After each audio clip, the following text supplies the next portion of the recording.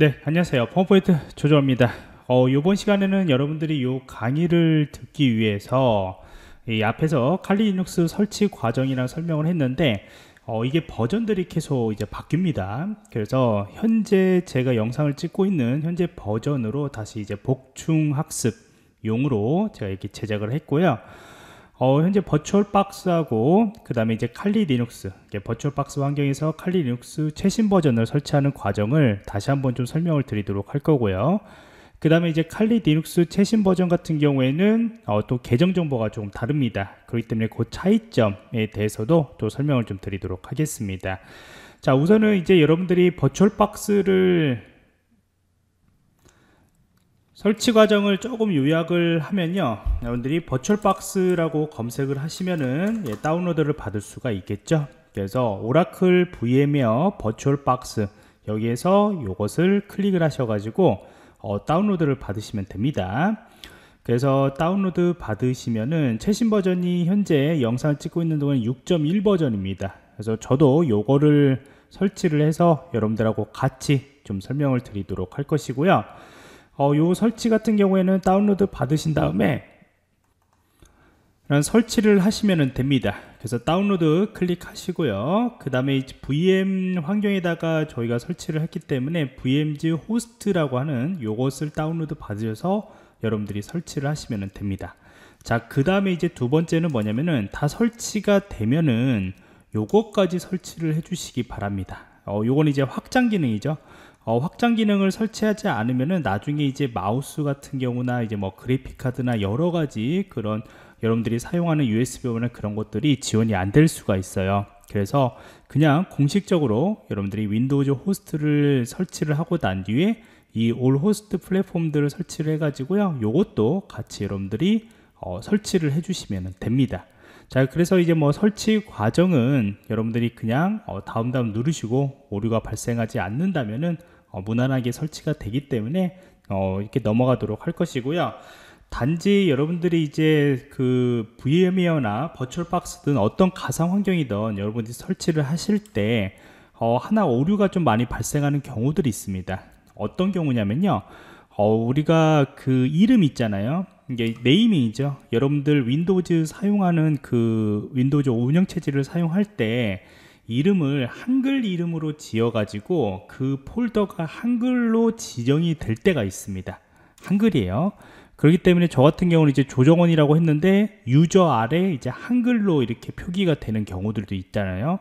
그랬을 때는 이 프로그램들이 오류가 발생할 경우가 많이 있습니다. 특히 버추얼박스가 더욱 그래요. 그래서 여러분들이 버추얼박스 환경에서 뭔가 나중에 가상 환경들을 뭐 압축을 해제한다거나 여러 가지 설치를 한다거나 그런 과정에서 이 한글들이 들어가면은 굉장히 힘들어질 수가 있습니다. 음, 그럴 때는 이제 뭐 몇 가지 방법들이 있는데 그 중에서 제일 편한 것은 Windows에서 계정을 하나 만드세요. 테스트 계정이라고 이렇게 어, 영어로 테스트 계정이나 아니면 여러분들이 사용할 수 있는 일반적인 계정들을 만들어서 거기다가 관리자 계정을 부여를 합니다. 어, 그 다음에 그쪽에서 여러분들이 학습을 하라고 저는 좀 권고를 드리고 싶습니다. 왜냐면 기존 거 한글을 또 영어로 다 수정을 해버리면요 또 일부 또 오류가 좀 몇 개가 발생한다라고 이렇게 좀, 좀 들었어요. 그래서 최대한 좋은 것은 이제 계정을 하나 더 파서 거기다 이제 가상 환경을 할 때는 거기서 공부하라 라고 저는 좀 추천을 드리고 싶습니다. 자 그래서 이렇게 설치를 하시기 바랍니다. 그래서 저는 이미 좀 설치를 했고요. 여러분들 설치가 다 끝나시면은 이제 오라클 VM 를 어, 여러분들이 검색을 해서요 이렇게 실행을 하시면 됩니다. 자 그래서 저 같은 경우에도 이렇게 화면이 나왔고 여러분들도 그렇게 뭐 틀리지 않을 겁니다. 물론 이제 이게 계속 버전들이 업데이트가 되면은 일부 GUI가 좀 바뀔 수는 있습니다. 근데 방법은 동일하다 라고 생각하시면 되고요. 자 그 다음에 이제 어, 우리가 칼리 리눅스를 다운로드 받으셔야겠죠? 그래서 Kali Linux 같은 경우에도 Kali Linux 다운로드 예, Kali Kali Linux 다운로드라고 여러분들 검색하시면은 공식 페이지가 있죠 웬만큼은 공식 페이지에서 다운로드 받으시기를 좀 권고드리고요 이쪽으로 이제 클릭하시면은 어, 이 아래쪽에 보시면은 이게 VM웨어 버추얼박스 이렇게 다운로드 되는 페이지가 있어요 음, 보이시죠 그래서 우리는 여러분들이 테스트할 때는 64비트로 대부분 사용을 하기 때문에 64비트 VirtualBox용 요거를 여러분들 다운로드 받으시기 바랍니다. 그래서 요거를 클릭하시고요. 자, 클릭하시고 난 뒤에 아래쪽에 보시면은 또 이제 뭐 VMware로 이렇게 선택이 되어 있어요. 음, 그래서 아래쪽에 보시면 버추얼 박스라고 있죠. 이 버추얼 박스를 클릭하시면은 여기에서 다운로드를 받으시면 됩니다. 물론 이제 뭐 그 시간에 따라서 여러분들이 칼리눅스가 운영되는 그 서비스 시간하고 저희 한국 시간으로 좀 다르다 보니까 속도가 또 일부 안 날 때가 있습니다. 그때는 이제 좀 피해가지고 아침 정도에 여러분들 다운로드 받으시면은 어, 속도가 괜찮게 나올 겁니다. 자, 그러면 이제 OVA 파일이 하나가 다운로드가 됩니다. 약 한 3.3기가. 그 다음에 여러분들이 설치를 하면은 어, 적어도 최소한 여러분들 하드 쪽에 저장 장치가 적어도 약 한 30기가에서 40기가 정도 이상은 되어야 합니다. 이게 미리 설치된 것들을 불러오면은 어, 상당히 많은 공간들을 차지를 해요. 그래서 저는 어떤 VMware를 좀 사용한다면 적어도 한 200기가 이상 정도는 좀 어, 확보를 하시라 고 저는 좀 권고를 합니다. 왜냐면 여러 가지 환경들을 나중에 뭐 빅박스든 아니면 웹 취약점 어떤 환경이든 여러 가지 환경들을 좀 구성을 해야 하거든요. 음, 그렇기 때문에 약 한 200기가 정도는 하드 용량을 좀 가지고 계시라라고 저는 좀 권고를 합니다. 자, 그래서 저는 이제 다운로드를 받은 다음에 아까 여러분들이 나중에 설치를 하고 난 뒤에 압축을 이게 그 이미지 파일들을 압축을 해제하면서 이제 저장을 하게 되는 건데 그랬을 때도 이 한글 이름이 들어가면은 오류가 발생할 수가 있어요. 그래서 저 같은 경우에는 이제 D 드라이브에 별도로 제가 어 이렇게 어 설치를 폴더를 하나 만들었고요. 여기다가 이제 다운로드 여러분들 다운로드 받았던 요것을 예, 다운로드를 받았고요. 또 나중에 요거를 압축을 해지할 때도 여기다가 이제 저희가 압축을 해서 가상 환경을 운영을, 운영을 할 겁니다. 요것을 하는 이유는 뭐 아시겠죠? 한글이 들어가면은 오류가 발생할 가능성이 높다. 예, 그래서 이렇게 여러분들이 좀 관리를 해주시면은 어, 좋습니다. 자, 그러면은 이제 여기까지 세팅을 하고 난 뒤에 여러분들이 어, 여기서 이제 불러오셔야겠죠. 그래서 불러오시는 과정이나 그런 것들은 기존 환경하고 똑같습니다. 어, 물론 이제 UI가 좀 일부 달라졌지만은 기존 환경하고 같다라고 생각하시면 됩니다.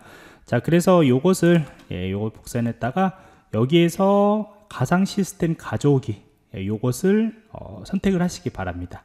자, 그래서 가상 시스템 가져오기 이것을 선택을 하시고요. 자, 그 다음에 여기서 이제 OVA 파일 같은 경우는 그런 것들을 이제 가져올 수가 있겠죠. 그래서 OVA 파일이나 OVF 파일을 가져올 수가 있어요. 자, 그래서 이제 여기서 보면은 OVA 파일 아까 금방 다운로드 받았던 거 있죠. 예, 선택하시면 됩니다. 자, 그래서 선택을 하셔서 더블 클릭 열기를 하시기 바랍니다. 자, 이렇게 열기를 하세요. 자, 천천히 하도록 하겠습니다. 예, 천천히 하도록 할게요. 자, 그 다음에 이제 여기서 제가 어, 교육상 이게 환경이 아래에 이제 음, 가족이라고 있는데 다음이라고 있습니다. 다음이요. 제가 이렇게 보시면은 다음이라고 있죠. 제가 화면이 이게 음, 세상도를 여러분들 하기 위해서 이렇게 만들었기 때문에 이렇게 나오는데 음,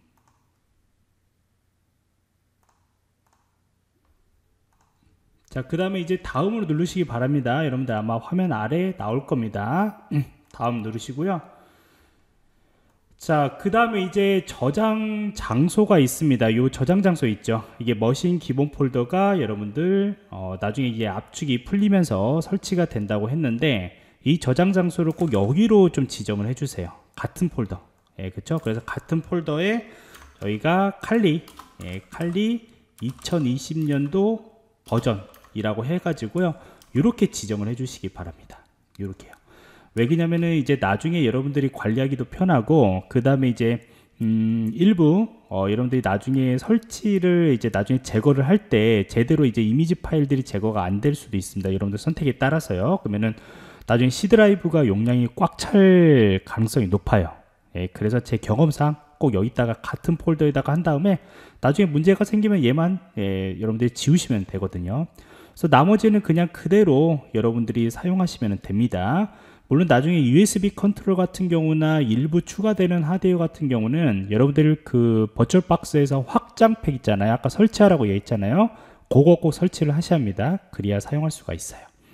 자, 그 다음에 이렇게 설치를 하고 난 뒤에, 이렇게 하고 난 뒤에 가져오기 예, 하시기 바랍니다. 가져오기요. 그래서 가져오기 하시고 난 뒤에 그 다음에 이제 뭐 라이센스 관련된 것들 Kali Linux 있는데 그냥 동의합니다 라고 하시면 됩니다. 그래서 동의합니다. 누르시고요. 자 그러면 이제 가져오기를 합니다.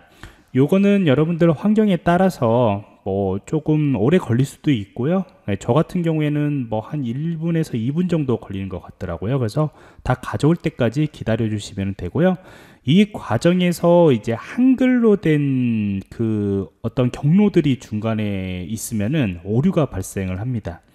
그래서 요것들 여러분들 꼭 주의를 하시기 바랍니다. 자 그러면은 여기까지 불러왔습니다. 제대로 불러왔고요. 요것을 불러온 것을 바로 시작하지는 마시고요. 네트워크를 이제 우선은 구성을 해야 합니다. 여러분들이 여기 안에서만 이제 뭐 네트워크를 저희가 사용할 거냐 아니면은 이 호스트 운영 체제 여러분들이 사용하고 있는 Windows에서 또 칼리눅스에 접속할 일이 있으면은 또 그렇게 해야 하는 것이고요 그 다음에 여러분들이 나중에 여기다가 이제 뭐 취약한 웹서버나 그런 것들을 뭐 bee-box 같은 경우나 Metasploitable이나 여러 가지들을 이제 구성을 할 수가 있는데 이런 것들에 접속 여부들을 하기 위해서는 네트워크를 서로 이제 맞춰줘야 합니다. 자, 그래서 이제 위쪽에 보시면은 이제 머시 환경 설정이라고 있습니다. 이 환경 설정을 클릭을 하시고요. 이 환경 설정에서 네트워크에 보시면은 이게 여러분들 처음 설치하신 분들은 없습니다. 근데 이제 나트 네트워크라고 하나 여러분들이 이렇게 해서 추가를 하시기 바랍니다 저는 이미 추가가 됐기 때문에 제가 하나 이렇게 추가를 할 것이고요 이 나트 네트워크라는 것은 이제 어떤 거냐면은 내부적으로 이제 네트워크를 진행을 할 때 이게 좀 필요합니다 그래서 여러분들이 어, 내부적으로 여러분들 가상 환경에서 할 때는 요 네트워크라는 것이 필요하기 때문에 미리 좀 추가를 해 주시면 좋을 것 같고요. 그래서 확인을 하시기 바랍니다. 확인하시고요. 자, 그 다음에 이제 이 설정 쪽에 들어가세요. 음, 설정의 칼리누스를 동작하기 전에 이제 설정 쪽에서 몇 가지 여러분들 설정할 필요가 있는데 어, 여기 일반 쪽에서는 이 클립보드하고 드래그 앤 드롭이 있죠. 요것을 양방향으로 여러분들 하시기 바랍니다. 어, 요것은 나중에 뭐냐면은 이 호스트에서 이 호스트면은 여기 Windows PC죠. Windows에서 뭔가 복사를 해서 이 칼리눅스에다가 명령어를 공유를 하고 싶다거나 아니면은 어, 요거 있다가 파일에 있는 것들을 칼리눅스에다가 복사를 할 때 어, 공유 폴더를 사용하지 않고 드래그 앤 드롭으로 해가지고 폴더를 뭐 이렇게 파일 같은 경우를 칼리눅스에다가 보내고 싶다거나 요렇게 할 때는 이 클립보드라는 것들 드래그 앤 드롭이라는 것을 이제 저희가 설정을 해야 하는 겁니다. 그래서 나중에 공유 폴더를 하지 않고도 예, 사용할 수 있는 형태라 보시면 되고요. 어, CPU 같은 경우에는 뭐 다른 것들은 공유할 것이 없어요. 예, 그럼 그대로 두시면 됩니다. 그대로 진행하시면 되고요 그 다음에 USB 포트 같은 경우에는 일부 오류가 발생할 수가 있습니다. 확장팩을 설치하고도 발생할 수가 있어요. 그럴 때는 USB 컨트롤을 사용하기를 그냥 이렇게 삭제해 주시면 됩니다. 음, 삭제해 주시면 되는데 보통 확장팩을 설, 그 설치를 해 주시면은 USB 컨트롤러 같이 사용할 수가 있습니다. 자, 그 다음에 제일 중요한 게 이제 네트워크인데, 현재 네트워크가 기본적으로는 NAT로 이렇게 하나 설정이 되어 있어요. NAT요. 근데 NAT로 설정하시면 안 되고, NAT라는 것은 말 그대로 진짜로 그 내부에서만 동작하는 겁니다. 인터넷도 안 돼요. 어, 내부에서만 동작하는 형태인 것이고요. 여기에서는 아까 우리가 설정했던 NAT 네트워크로 여러분들 설정해 주시면 됩니다. 근데 이 NAT 네트워크로 설정을 해 주시면은 어, 다른 이게 공격 대상 같은 경우도 똑같이 NAT 네트워크로 해주셔야 돼요. NAT 네트워크요.